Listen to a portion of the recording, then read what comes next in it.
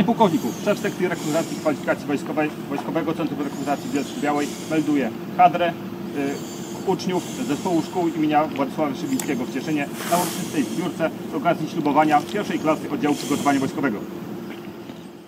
7 listopada na terenie wokół szkoły imienia Władysława Szybińskiego w Cieszynie miało miejsce uroczyste ślubowanie klasy pierwszej oddziału przygotowania wojskowego. podchodzą do tego bardzo poważnie.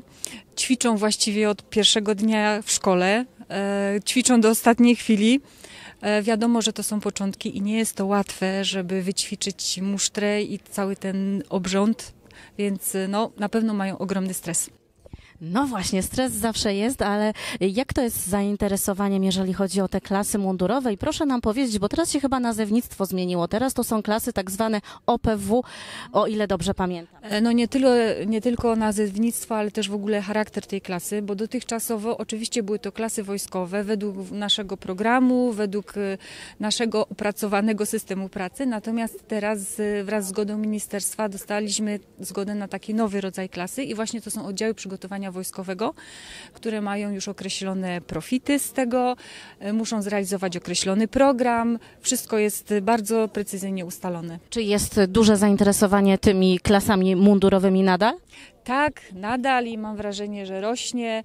E, oczywiście to wszystko też zależy od e, liczebności danego rocznika, natomiast no, niezmiennie te klasy mundurowe to są jedne z klas, które mają najwięcej chętnych. Jak to wygląda, jeżeli chodzi o ten rok szkolny? Jest takie pełne e, obłożenie? Jest, tak, jest, no wiadomo, ten rok szkolny był bardzo ubogi, jeżeli chodzi o absolwentów, natomiast ta klasa jest 24-osobowa, czyli pełna, e, także bardzo się cieszymy, no i mamy nadzieję, że będzie tak dalej.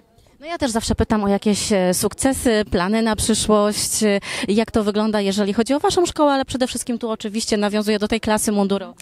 E, Te klasy mundurowe bardzo dużo sukcesów odnos, odnoszą w różnego rodzaju zawodach, takich e, właśnie dedykowanych e, klasom wojskowym. No i taki najświeższy to było zwycięstwo w zawodach dla klas mundurowych organizowane przez WSB. Zwyciężyliśmy i to już drugi raz z rzędu. No ale oprócz tego biorą udział we wszelkiego rodzaju zawodach i albo przywożą drugie, pierwsze miejsca, albo któreś drugie, trzecie. Także naprawdę się z tym sprawdzają i to lubią przede wszystkim. No to jest najważniejsze. A jak dzisiaj, tak proszę nam powiedzieć, e, to będzie e, wyglądać? Czy jest musztra jeszcze, co macie w planach? Tak, y, będzie to rozbudowane w stosunku do tego, co było w ubiegłych latach.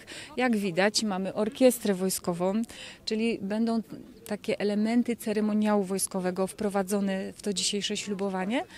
E, oprócz e, ślubowania, potem pasowania na kadeta, to jeszcze będzie musztra paradna, e, będzie defilada, no i będzie taki mini program artystyczny, no bo jesteśmy przed Świętem Niepodległości i to wszystko razem spinamy, żeby to w jednej takiej imprezie zawrzeć. Dla portalu Śląska Cieszyńskiego XPL Marta Szymnik.